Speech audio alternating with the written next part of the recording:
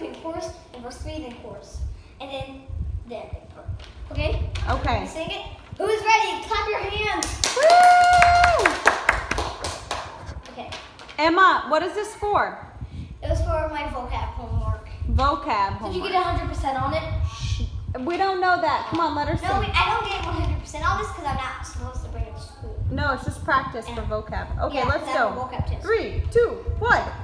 Okay, this is verse one. My mom says to browse the website. It's like a platform on a stream. Time to lose weight at the river. Cause that is all I need. All I need is a lot of comfort. Pause for a second. When I say oh, father, I'm not talking about.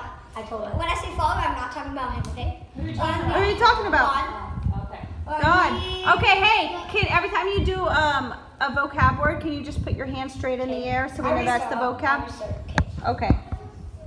My mom says to browse a website is like a platform on a stream. Time to lose weight at the river. Cause that is all I need.